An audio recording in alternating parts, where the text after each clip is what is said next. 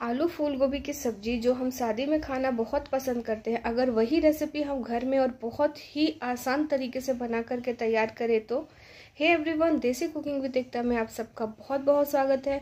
और आज मैं आप सबके लिए लेकर आई हूँ आलू और फूल गोभी की एक ऐसी टेस्टी सी रेसिपी जो हम ज़्यादातर शादी और पार्टी में खाना पसंद करते हैं। तो बिना देर किए आज की रेसिपी शुरू करते हैं।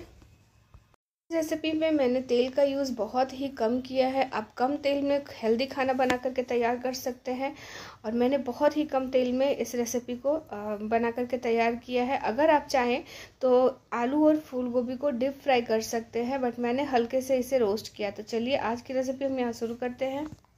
पहले हमें फूल गोभी को काट लेना है। तो इस तरह से हम फूल गोभी को छोटे छोटे टुकड़ों में काट लेंगे। ये देखिए, ऐसा हमें काट लेना है और धो करके साफ़ करके ले ले। तब तक हम कढ़ाई भी गर्म कर देते हैं और उसमें हम सिर्फ़ एक चम्मच के करीब तेल ऐड करेंगे। को अच्छी तरह से गर्म होने दें और साथ ही में हम इसमें डालेंगे फूल गोभी फूल गोभी को हमें कुछ पाँच मिनट के करीब इसमें फ्राई करना है। आप ढककर भी फ्राई कर सकते हैं या इस तरह से भी फ्राई कर सकते हैं। जब तक हमारी गोभी जो है ना वो फिफ्टी परसेंट तक पक जाएगी इसमें फ्राई करते हुए और इसका कलर भी गोल्डन हो जाएगा, तब तक आप इसे फ्राई कीजिए और गैस का फ्लेम मीडियम टू स्लो पर रखिए। तो यहाँ पर देखिए हमारा गोभी ऑलमोस्ट फ्राई हो चुका है। पाँच मिनट के करीब हमें चलाते हुए इसे फ्राई कर लेना है। गोभी को आप अलग सेपरेट कर लीजिए और वापस हम इसी तेल का यूज़ करेंगे जो थोड़ी सी कढ़ाई में हमारा तेल है। अगर आपको लगे तो आप इस जगह पे वापस से एक टेबल स्पून के करीब आप इसमें तेल ऐड कर सकते हैं और हमने आलू को इस तरह से काट लिया है छोटे टुकड़ों में और अब हम इसे भी फ्राई करेंगे। तीन से चार मिनट में आलू भी हमारा अच्छी तरह से फ्राई हो गए गोल्डन ब्राउन हो जाएगा। तब तक आप इसे फ्राई कर लीजिए और जब ये गोल्डन ब्राउन हो जाए तो आप इसे सेपरेट कर लीजिए। हम उसी कढ़ाई का यूज़ करेंगे और वापस हम इसमें जीरा ऐड कर देंगे। अगर आपको तेल डालना है तो इस जगह पे आप थोड़ा सा और तेल का यूज़ कर सकते हैं। मैंने उसी में थोड़ा सा जीरा डाल दिया है, आधा चम्मच के करीब, और साथ ही में हम तेज़पत्ता ऐड कर देंगे। तेज़पत्ता डालने के साथ आप इसमें प्याज डाल दीजिए। एक मीडियम साइज़ का प्याज मैंने रफली चॉप कर लिया है लंबे स्लाइस में, और इस तरह से डाल देते हैं। साथ ही में हम डालेंगे तीन से चार हरी मिर्च, और साथ ही में हम डाल देंगे एक इंच अदरक का टुकड़ा। और इसके बाद हमें डालना है लहसुन। आठ से दस लहसुन की कलियाँ हमने डाला है इसमें और इसके साथ ही हम इसे चला लेंगे थोड़ा सा एक मिनट के करीब हम इसे पकाएँगे। हल्का सा जब ये पिंक कलर हो जाए तब हम इसमें टमाटर ऐड कर देंगे। तो टमाटर को भी हमने एक मीडियम साइज़ का टमाटर है, उसको हमने रफली चॉप करके ले लिया है और इसमें डाल करके मिला लेते हैं।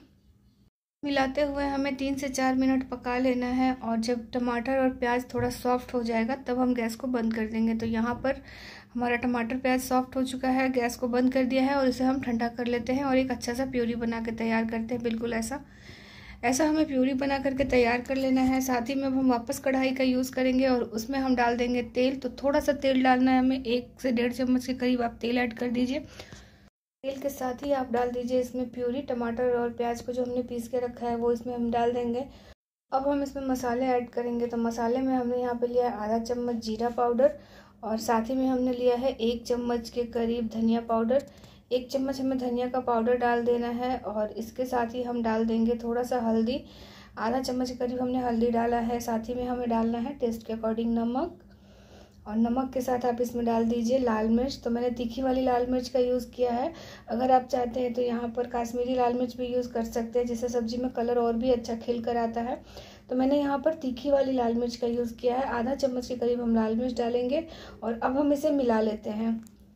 के ढक दीजिए तीन से चार मिनट पकने के लिए और चार मिनट के बाद हम इसका ढक्कन हटाएँगे और यहाँ पर देखिए, अच्छी तरह से मसाला हमारा पक रहा है। तो मीडियम टू स्लो फ्लेम पर हमें गैस को रखना है और धीरे धीरे से इस तरह से फ्राई करते करते पकाना है। तो अभी हम इसे वापस से चला करके ढक देंगे पकने के लिए। से पाँच मिनट के बाद ढक्कन हटाइए और यहाँ पर देखिए मसालों को हमने फिर से एक बार चला लिया है और बहुत ही अच्छी तरह से ये फ्राई हो चुका है। बहुत ही सौंधा सौंधा सा इसका स्मेल भी आ रहा है, बहुत ही सूखा मसाला फ्राई होकर के तैयार हुआ है। तो अब आप इसमें डाल दीजिए एक छोटा चम्मच के करीब गरम मसाला। इसे अच्छी तरह से मिला लीजिए और मिलाने के साथ ही आप इसमें डाल दीजिए आलू और फूल गोभी हमने फ्राई करके रखा है। वो इसमें हम ऐड कर देते हैं और अच्छी तरह से इसे भी हमें मिक्स कर लेना है। इसे मिक्स करिए आप, अच्छे से मिक्स करना है। जो मसाले हैं ना, वो फूल गोभी में बहुत ही अच्छी तरह से चारों तरफ़ से मिल जाना चाहिए। ये देखिए, ऐसा आप मिक्स कर लीजिए। और अगर आपको लगे तो थोड़ा सा पानी का यूज़ कर सकते हैं यहाँ पर। तीन से चार चम्मच के करीब आप पानी डाल दीजिए और फिर मसाले मिलाइए तो बराबर से कोटिंग हो जाएगा पूरी सब्ज़ी में। और बहुत ही अच्छी तरह से इसे फ्राई कर लेना है। कुछ तीन से चार मिनट हम इस तरह से फ्राई करेंगे मसाले में सब्जियों को डाल करके। तो यहाँ पर हमने थोड़ा सा हरा मटर का यूज़ किया है। अगर आप चाहें तो ज़्यादा भी डाल सकते हैं। हमने थोड़ा सा हरा मटर डाला है फ्रोज़न मटर है। तो थोड़ा सा मटर डाल करके आप इसे मिला लीजिए। कुछ दो से तीन मिनट आपको फ्राई करना है। इस तरह से गैस का फ्लेम मीडियम टू स्लो पर रखना है और इसके बाद आप इसको ढक दीजिए।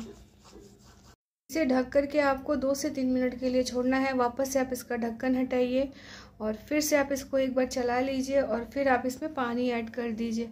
तो हमने एक गिलास के करीब इसमें पानी डाला है। और पानी डाल करके मसालों को बहुत ही अच्छे से मिला लेना है और फिर हम इसे ढक करके कुछ तीन से चार मिनट के लिए मीडियम टू स्लो फ्लेम पर छोड़ देंगे।